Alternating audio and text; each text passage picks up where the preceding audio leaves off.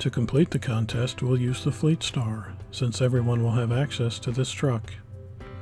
I'm using the default setup, except I've added the 42 inch U82 all terrain tires, and I've added the snorkel.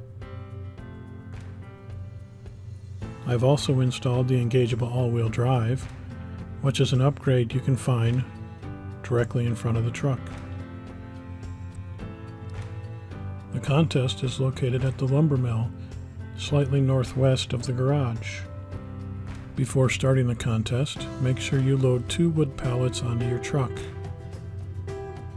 I'm restarting the contest here because it was already running.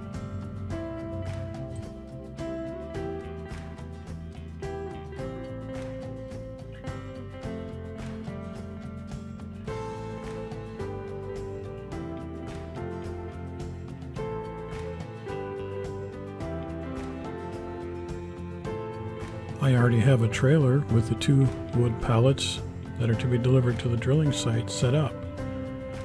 This will save time from dragging the trailer up the hill. I'll unpack the cargo on the truck and then attach the trailer. I'll then deliver the wood. This ensures that the wood is delivered from the trailer instead of from the truck. I'll then repack the cargo and move on to the next delivery point.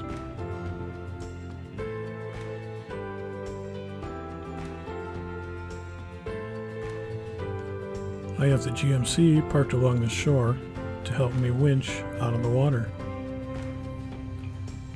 I'll then winch the back of my truck to the front of the GMC to pull my truck out the last little bit.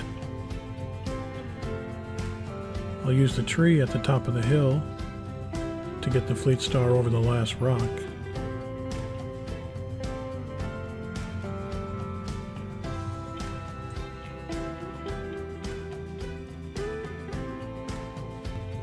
When delivering to the church, be sure not to hit any of the light poles around the parking lot.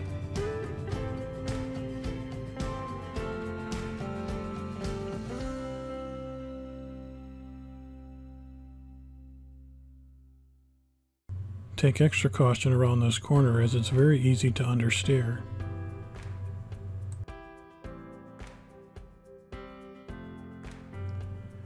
If done correctly, you should receive the gold medal upon delivering your last load. Thanks for watching.